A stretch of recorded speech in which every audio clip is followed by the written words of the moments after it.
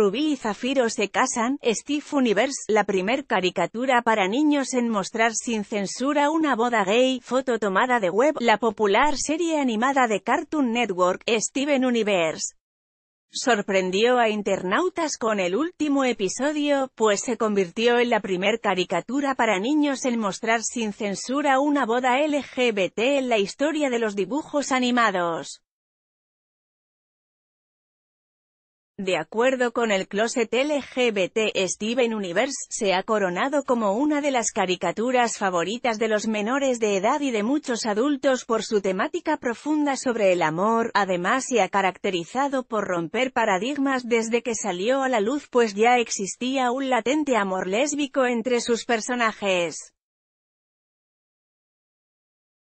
Y pasa a la historia por ser la primera caricatura dirigida a niños que representa el matrimonio igualitario.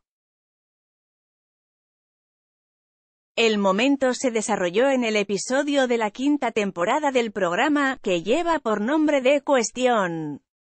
En el capítulo, el personaje de Rubí pide matrimonio a Zafiro, dos gemas que al fusionarse forman la joya granate, así podremos seguir juntas aunque estemos separadas, agrega Rubí al formalizar la petición.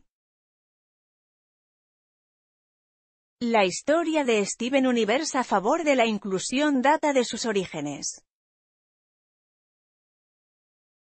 Su creadora, Rebecca Sugar, quien fungió como guionista gráfica, supervisora y compositora en Adventure Time, se convirtió en la primera mujer en dirigir una serie de animación de Cartoon Network, Steven Universe.